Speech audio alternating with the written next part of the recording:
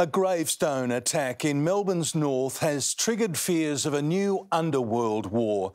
Vandals targeted the tomb of a gangland figure's sister, with a former homicide boss now predicting payback. A sacred place of rest, now the centre of a brewing Middle Eastern crime war. There's going to be some retaliation. Leaving police on high alert as they step up their patrols. Criminals targeted the grave of gangland figure George Moorogi's sister, Meshlin. Her mausoleum was broken into at 4am yesterday. 7 News has been told her coffin was then dragged a significant distance and smashed open. Nothing was stolen.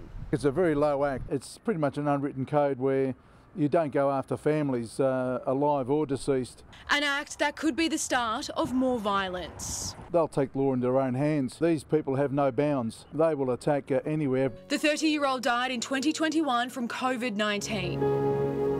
Her underworld brother wasn't able to attend because he's currently serving 32 years behind bars for murder. Last year, the crime boss was charged with directing a sophisticated drug syndicate from inside his prison cell. The people who are responsible, I think they're sending a message uh, to the um, family of the deceased. Police say security cameras located throughout the cemetery will be crucial in this investigation.